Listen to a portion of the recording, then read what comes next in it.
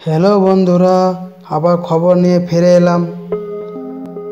এ West Bengal, Birbhum জেলা, রামপুর হাটে।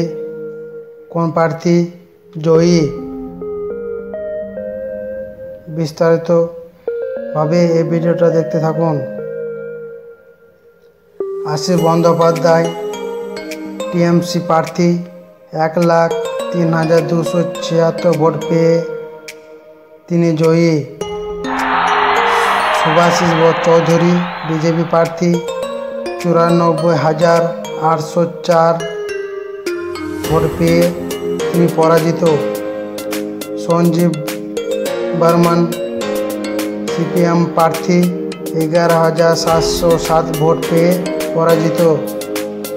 নটা, তিন হাজার তিনশো একাশি ভোট পেয়ে তিনি পরাজিত। এবানে রাসুল আঙ্গুর মিয়া, বাহুজান মহাপার্টি এক হাজার ছশো আট ভোট পেয়ে তিনি পরাজিত। বিপদ তরণ্ডম, বিএসপি, এক হাজার পাঁচশো সাতাশি ভোট পেয়ে তিনি পরাজিত।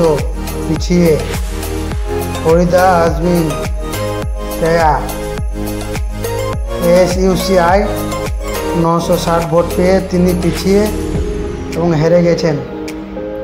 এই ছিল বীরভূম জেলার রামপুরহাট বিধানসভা নির্বাচন। কোন প্রার্থী জয়ী?